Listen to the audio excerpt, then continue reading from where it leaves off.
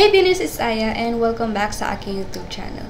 For today's vlog, gagawa ako ng lip product review from Kibes.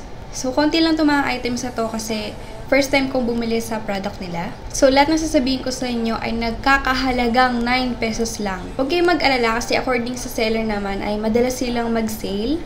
Tsaka ipapa-giveaway ko rin itong mga products na to. So, let's start sa dalawang cute na products na to. Nabuksan ko na sila pareho. Pero huwag kayong mag-alala kasi naman sila. So, ganito karami yung 9 pesos na product nila. So, ganito yung shade niya. Ang ganda nito for everyday look. Ayan. So, diba? Mukhang natural lang yung kulay niya. This is in the shade 04 and ganito ang itsura niya kapag na-blend. Ayan. Super creamy niya yet matte finish. So, hindi ko alam kung may kiniklaim siyang waterproof siya or long-lasting, pero subukan natin. Ayan. O, diba? Smudge-proof siya, tsaka waterproof. O, diba? 9 pesos lang yan.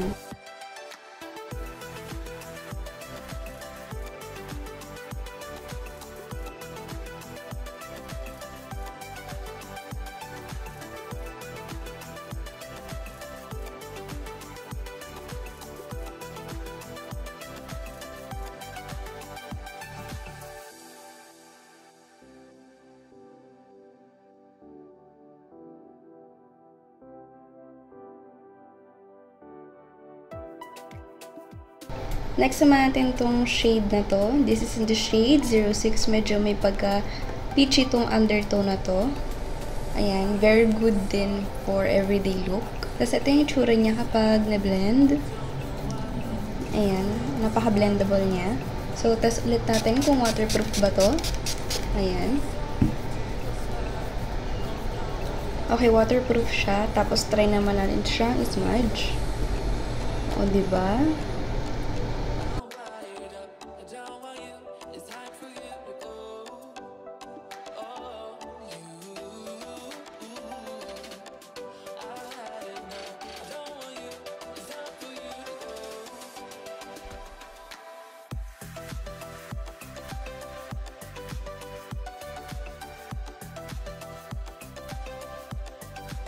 Next naman natin itong lip product na to.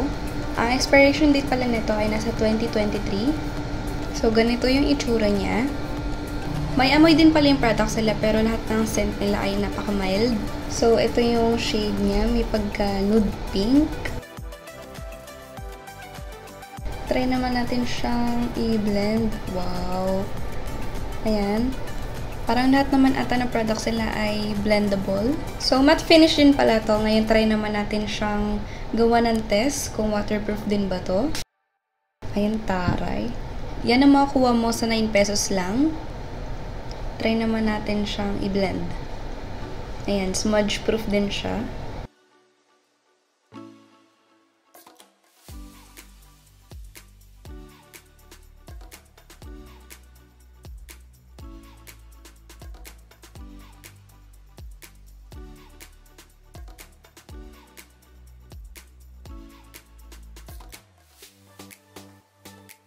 Okay, next item natin.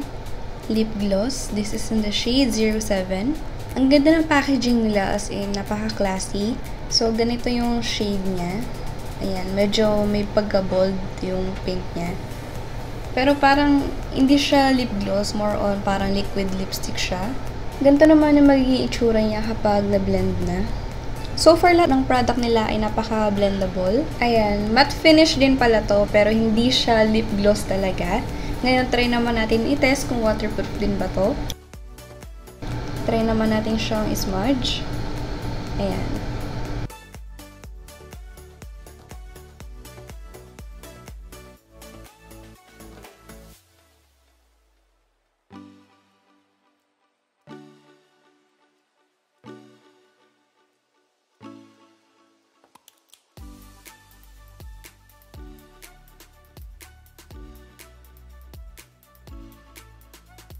Okay. Next naman natin, itong lip gloss din. This is in the shade 09. And this is how it looks like. So, ganito yung shade niya. Ayan, hindi rin siya lip gloss at saka matte finish din siya. And this is how it looks like kapag na-blend na. Ayan, medyo dark siya. So, matte finish din to. So, try naman natin kung waterproof and smudge-proof din siya. So, for lahat ng products nila ay waterproof. Try naman natin i-blend. Ayan.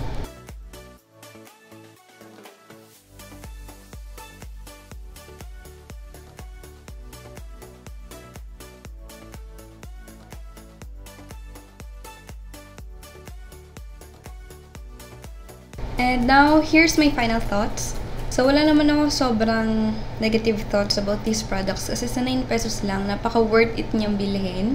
And also, sa lahat ng products na to ay ipapag-giveaway ko rin. So, 7 days pala before ko siyang ma-receive and from overseas pa ito. So, sa sobrang mura ng mga products na to ay medyo nakakapagtaka So, ang ginawa ko, chinat ko yung seller, tapos tinanong ko sa kanya kung may file ba sila or document na sila ay FDA approve. And yes, may pinakita silang document sa akin na sila ay FDA approve. So, nakakatuwa lang kasi sa 9 pesos lang, may makuha ka ng lip product na waterproof, smudge-proof, and long-lasting. And that's it for today's vlog. Sana nagustuhan niyo itong video na ginawa ko today. Please do not forget to give this a video thumbs up like my Facebook page and please subscribe me.